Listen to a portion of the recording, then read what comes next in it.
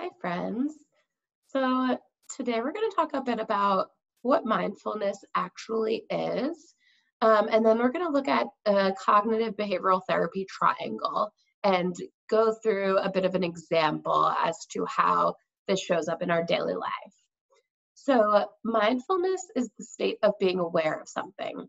We all walk around on autopilot, going through the motions, making choices or having conversations based on patterns and habits rather than tapping in and understanding where we are at any given moment.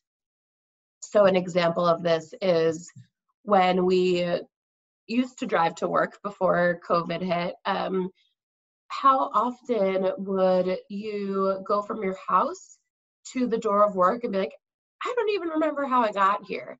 Like, we just get so used to our uh, routines and our habits that we're no longer mindful or present in them. We're so lost in our heads and really stuck either in the past or the future. And we forget to slow down and notice this present moment. The goal of mindfulness is to wake up to the inner workings of our mental, emotional, and physical processes, says mindful.org. And the benefits of this are countless, um, and some of them are it allows us to connect with ourselves, reduce brain chatter. So, this idea that we are all constantly talking to ourselves, there are these competing voices in our head that are hoping to gain our attention, um, and we can kind of quiet and slow that down. Um, helps us to understand ourselves better, lowers stress, lengthens attention span. It helps us to understand our impulses, helps to grow empathy, allows us to have less attachment to our thoughts, and it helps us understand that we are not our thoughts. Um, all thoughts are not necessarily real or valid and true um, because you know we all have fearful thoughts or scary thoughts or thoughts that you're like, why would I think that? Um, and our minds are really amazing, incredible machines, and we are not our thoughts. We're so much more than them. We don't have to believe everything our brain tells us. Um, and according to this study from the New York Times, they found that we have, on average, 20,000 thoughts a day, and on average, 80% of those thoughts are negative.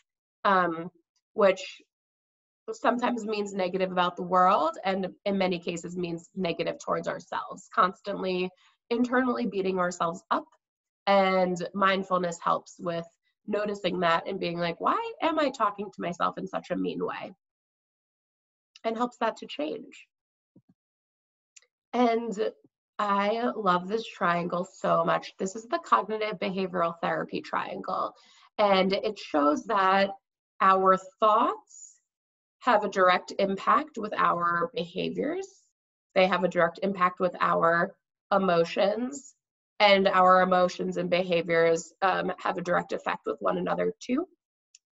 It's also important to note that for all of these arrows, there should be a star that says physiological kind of like symptoms.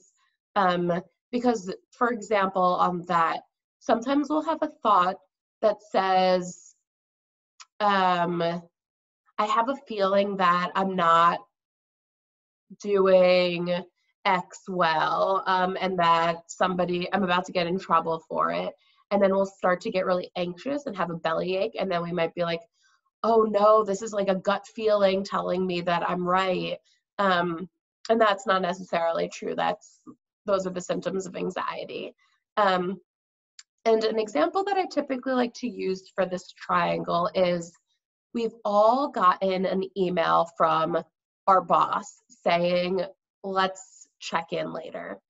And 99% of the time, let's check in means let's check in, let's talk about that project or whatever it might be. Um, and I just remember this one time that I had that situation. I got a text from my boss saying, let's check in on Monday. And I texted back saying, Is everything okay? And I didn't hear back. And the I spent the entire weekend with these thoughts of I'm going to get fired on Monday. This led me to the behaviors of calling everybody I know, crying.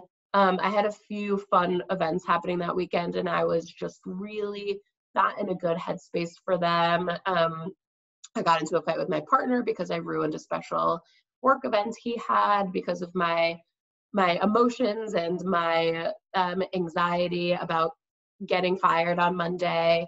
Um, and then that leads us to um, be really defensive when we end up talking to our boss. It leads us to not getting any work done. All of these various things. It leads us to maybe like looking for a new job. And, you know, it, it makes sense because we want to protect ourselves. And also, this triangle helps us notice when maybe we're spiraling out of control.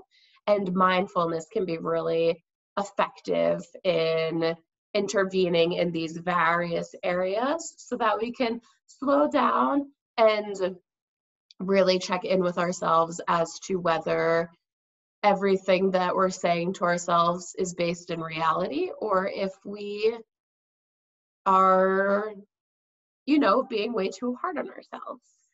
So I hope that this was helpful and I hope to talk to you guys really soon. Take care.